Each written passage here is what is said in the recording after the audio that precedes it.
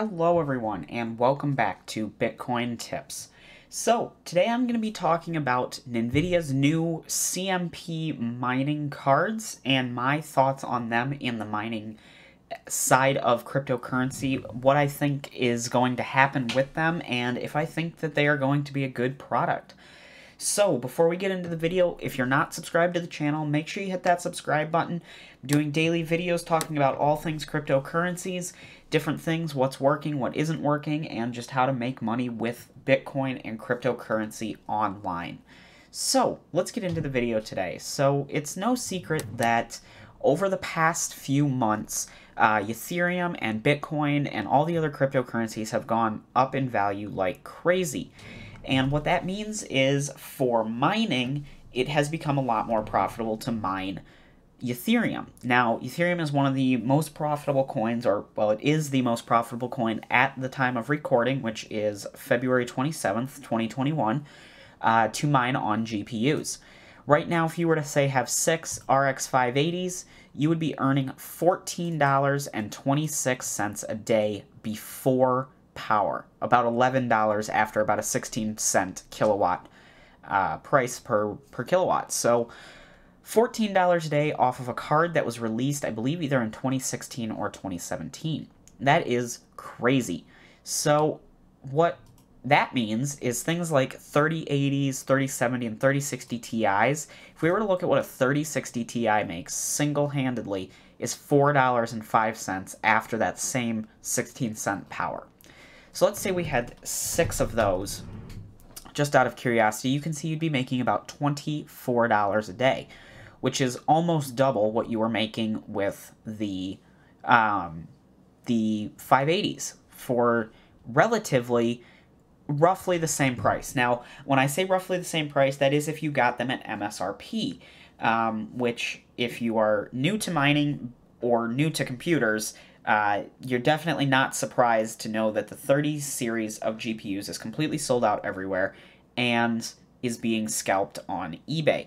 Um, right now, if you were to go out and buy a 3060 Ti, you're probably looking at a multi-thousand dollar um, investment here. So if we go 3060 Ti on eBay, you can see switching it to buy now because you don't want to mess around with the auctions and all that $1,100, $1,300.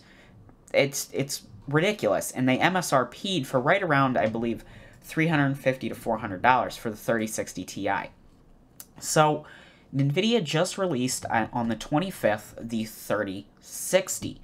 And right before they released it, about a day or two in ahead, uh, in advance of that, NVIDIA made an announcement that they were going to have software on the cards uh, controlled through the drivers that would effectively halve the hash rate of a 3060 if it detected that it was being used to mine. Now you might be thinking, what the heck? Why is NVIDIA you know making it so these cards are less valuable to people who are buying them? What it, what's in it for NVIDIA? Because in in their eyes, who cares who's buying it? As long as they're getting the price that they want for it, it shouldn't matter that a miner is buying it or a gamer is buying it. Well, that's where the new CMP HX line of cards come up. Um, they announced these the same day that they announced that they were going to halve the hash rate of the Ethereum mining. So that's definitely um, good timing, I would say. But looking at it here, the 30HX is the base card in this lineup. Uh, it has a rated power of 125 watts and it has 6 gigs of memory. So they pr predict that it's going to get about 26 mega hashes. So if we pop over to the what to mine again here and we enter in 26 mega hashes with, I believe I said it was a 125 watt. 125. So we then calculate that you can see that that, oops, still loading, but uh, we can see that that is going to get about a dollar fifty-seven. Again, I'm using 16 cents per kilowatt after power. So a dollar fifty-seven, just roughly. Let's try and compare it to a four gigabyte 570, just for comparison. Uh, it's Not quite that low, but uh, maybe it's in between a 570 and a 580 because I know a 580 should be making about $2 ish a day. Yep, close to $2. So it's actually about a 580. Um, now they did not release the the prices of these cards, but instead of doing the comparisons for each of them, we'll go up to the 90HX, which is probably in comparison to what the 3090 or what they're claiming the hash rate will be is actually closer to a 3080, a little bit lower than a 3080. So 86 mega hashes here. Let's put that in, 86 and we are going to be using 320 watts. So 320 at 80 mega hashes, calculate, you can see here that you're earning about $5.06 a day after power. Now again, that's not terrible, but from what, if, if I was going to go out and buy these for mining, the prices for these have got to be pretty low because looking at if you were to buy a 3080 at MSRP for about $800, you'd be getting a, a pretty good return here. Looking at what a 3080 gets is about $6.31. So if you were to get that at MSRP, this is already better than the 90HX. Now, at the time, these cards are not released, so we only have what NVIDIA has put out, which is this little chart here. And they're the ones that put the rated power, they're the ones that put the mega hashes and all of that.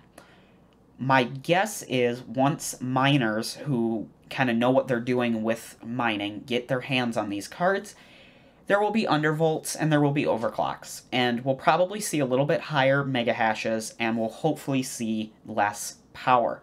Because where it currently stands, these cards would have to be priced very, very competitively and I would say the 30 or uh, the 90HX would have to be cheaper at MSRP than the 3080 if this is as, if this is the max that it can get at this power. So it's hard to say. We're just using this to kind of speculate, but my ultimate thoughts on it right now is that these cards are not going to sell very well. Uh, it's not very appealing in the specifications, and the key features here, it, it's meant for mining. And what that means is it's going to have almost no resale value. These, as I see it, these should almost be considered ASIC machines.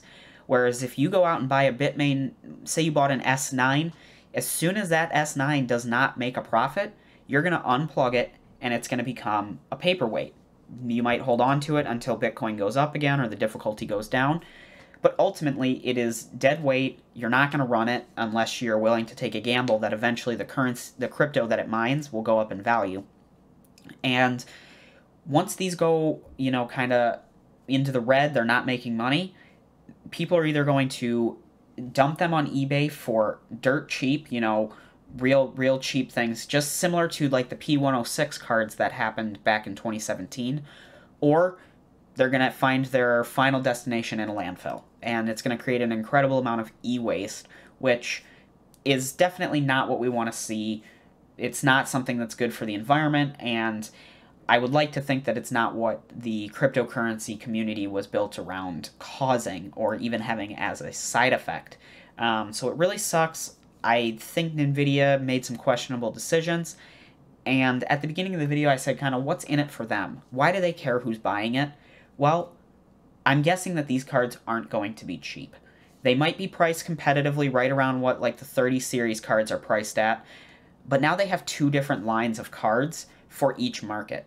So they might be able to sell more of the 30 series GeForce cards to gamers, and they're hoping that miners will turn around and buy all of these CMP cards. Will that happen? We'll have to wait and see when the CMP cards get launched, what the initial numbers are, and how many people actually move over to them. At this time, I don't plan on buying any of them because, like I said here, the numbers, they don't look promising. And the fact that they don't have any resale value is kind of scary because, in my opinion, investing in the computer hardware to mine cryptocurrency is way safer than investing in cryptocurrency itself. Because if you invest, you know, $5,000 in mining hardware, or $5,000 in Bitcoin, if cryptocurrency somehow completely disappeared, went to zero dollars, nothing was valuable anymore, if you put that $5,000 in Bitcoin, you're out of luck. If you put it in hardware, you'll at least be able to sell that hardware and recoup some of your investment. Now, you still might end up at a loss, but it's a significantly less loss than everything. And that's my opinion. I do have cryptocurrency and I do mine cryptocurrency. That's my thoughts on why this isn't going to be very successful and why it's not very appealing in my personal view. So I hope you guys found this kind of informational and interesting. I'll be really interested to see how the NVIDIA CMP cards turn out, and if I do have the opportunity to get one and they are cheap enough and, you know, make sense once we know prices and realistic numbers, I don't have a problem getting a few to test out, but we'll have to wait and see. So again, make sure you're subscribed to the channel so you don't miss anything about cryptocurrency, any of our update videos. And if you like this video, leave a like. If you didn't, leave a dislike. Let me know why you didn't like it down in the comments below. And in the description is a link to my Discord if you're interested in checking that out. It's a great place to learn about all things cryptocurrency. So please like, share, and subscribe to my Bitcoin Tips YouTube channel to learn more about spending, collecting, earning, and investing different types of cryptocurrencies. I hope you enjoyed, and I hope to see you in the next video. Bye.